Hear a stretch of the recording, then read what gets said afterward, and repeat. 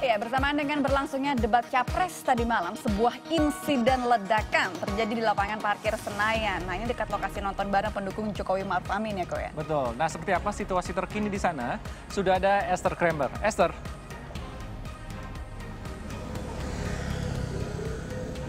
Ya, Niko dan juga Rama, good afternoon. Seperti inilah lokasi tempat kejadian perkara, yakni adalah insiden ledakan yang terjadi pada tadi malam. Di sini menjadi titik ledakan, di mana ini kalau bisa dilihat bahwa bagian pohon ini di bagian bawahnya mengalami kerusakan. Begitu juga dengan tanaman yang ada di sekitarnya, yakni ini terlihat rusak dibandingkan dengan sisi kiri dan juga sisi kanan dari tanaman yang ada di sini. Sementara itu untuk garis polisi sudah tidak lagi terpasang di kawasan ini dan jaraknya untuk kawasan ini dengan titik nobar yakni adalah sekitar 200 meter. Kemudian untuk uh, dari uh, lokasi ledakan ini sendiri sebenarnya ini berada di area lapangan parkir Senayan dan ini uh, merupakan kawasan juga di dekat dengan pintu gerbang dari Stadion Akuatik dan juga Stadion Utama Gelora Bung Karno. Sementara itu untuk aktivitas sendiri di kawasan ini terlihat berjalan seperti biasanya ya.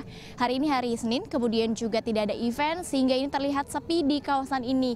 Namun demikian untuk pengamanan juga sudah uh, tidak ada lagi di kawasan ini dan juga untuk uh, pihak polisian sendiri sudah menyatakan bahwa memang sumber ledakan ini uh, berasal dari petasan. Hal ini didapatkan dari data setelah dilakukannya olah TKP dan juga tidak ditemukan adanya sisa serpihan.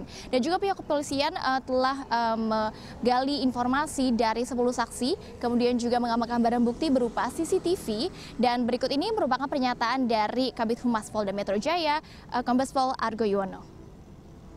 Malam uh,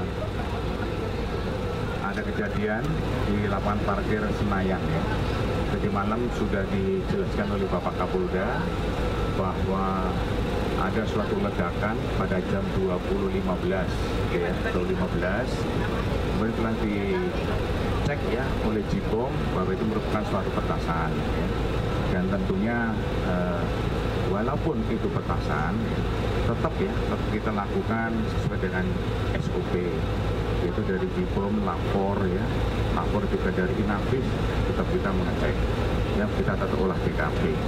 Jadi kita dengan metode induktif sudah kita lakukan tadi malam, metode induktif, yaitu kita melihat ya, apakah ada uh, beberapa material yang tertinggal, tidak ada. Ya ini uh, menjadi korban dan juga dibawa ke rumah sakit. Lima orang di antaranya dibawa ke rumah sakit Pelni dan dua orang dibawa ke rumah sakit Minto Harjo. Sementara itu uh, para korban ini memang mengalami shock akibat insiden yang terjadi tadi malam dan juga uh, sudah diperbolehkan untuk kembali ke rumah. Namun ada satu orang uh, korban yang dari uh, rumah sakit Pelni ini masih uh, dalam perawatan medis terkait dengan penyakit dasar bawaan yang dideritanya.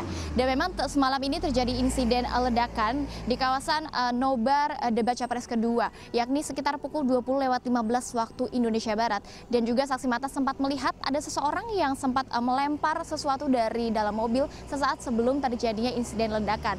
Dan hingga kini pihak kepolisian ini masih uh, terus dalami dan juga lakukan penyelidikan terkait dengan identitas dari uh, pelaku uh, ledakan tersebut. Yaniko dan juga Rahma. Baik, Esther Kramer.